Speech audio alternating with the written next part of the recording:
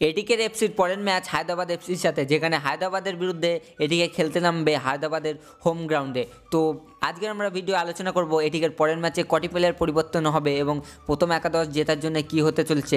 তাছাড়া এটিকের কি পরে ম্যাচ ম্যান্ডি সোসো কি দাঁড়িয়ে ভিডিওসিকের দেখা যাবে। তো অবশ্যই ভিডিওটি লাস্ট পর্যন্ত দেখবেন এবং আমার চ্যানেলে নতুন হলে অবশ্যই চ্যানেলটিকে সাবস্ক্রাইব করবেন। এটিকের পরের ম্যাচ অর্থাৎ হায়দ্রাবাদের বিরুদ্ধে কিন্তু একটু এটিকে চাপে থাকবে। কারণ প্রথমত এটিকে আগের ম্যাচ হেরে এসেছে এবং দ্বিতীয়ত এই ম্যাচটি হবে কিন্তু হায়দ্রাবাদের হোম গ্রাউন্ডে তো দেখা যাক হায়দ্রাবাদের বিরুদ্ধে কিন্তু প্রথম ম্যাচে দুর্দান্তভাবে জয় পেয়েছিল এটিকের হোম গ্রাউন্ডে এই এটিকে এফসি আগের ম্যাচে ছিল না। কাল ম্যাকিউজ এবং জন জনসনের পরিবর্তে অর্থাৎ রিপ্লেসমেন্টে সেইভাবে প্লেয়ার তো আশা করা যাক নেক্সট ম্যাচে অবশ্যই এই দুটি প্লেয়ারকে রিপ্লেসমেন্ট করাবে, যেখানে হয়তো ম্যান্ডি, সোসো এবং দারিও ভিডুসিক আসতে পারে দলে। আগের ম্যাচে যেরকম সাবস্টিটিউশনে কিন্তু সেরকম একটা বড় প্লেয়ারের নাম ছিল না।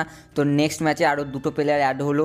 তো আশা করা যাক হাবাসের দুটো প্লেয়ারকেই খেলাবে এবং তারা দুটো প্লেয়ারই কিন্তু আপাতত অ্যাভেলেবেল এবার আমরা দেখে নেব এটিকে হায়দ্রাবাদের বিরুদ্ধে সম্ভাব্য একাদশ। প্রথমেই কিন্তু দলে থাকবে প্রীতম কোটাল এবং দলে সালাম রঞ্জন সিং, আকাশ গার্সিয়া, প্রবীর দাস, তারপরে Edu Garcia, Michael শশিবরাজ David William, Roy Krishna এবং তারপরে শাহনাজ সিংয়ের পরিবর্তে হয়তো জায়েশ রানে লাভতে পারে এবং তারপরেই হাবি হার্নান্ডেজ এবং তার সাথে অরিন্দম গোলকিপারে। কিন্তু এখানেই কিন্তু হয়তো কিছু প্লেয়ারকে চেঞ্জ করতে পারে। প্রথম একাদশে হয়তো জবি জাস্টিনকে আনতে পারে এবং হয়তো সালাম রঞ্জন সিংয়ের পরিবর্তে হয়তো সুমিত রাটিকে আনতে পারে এবং দলে সেই মিডিল মাঝে হয়তো হয়তো লাভাতে পারে সেই দারিও ভিডুসিক কিংবা ম্যান্ডি সোসো তো অবশ্যই তোমাদের মতে কি বলে নিচে কমেন্টে জানাতে পারো এবং ভিডিও যদি তোমাদের ভালো লেগে থাকে লাইক কমেন্ট শেয়ার এবং তোমাদের মতামত জানাতে অবশ্যই পরের ম্যাচে এটিকে জিততে হলে যে প্লেয়িং এক্সট্রাই দরকার, সেটা নিচে কমেন্টে আমাকে জানাতে পারো। তো দেখা যাক কী হয়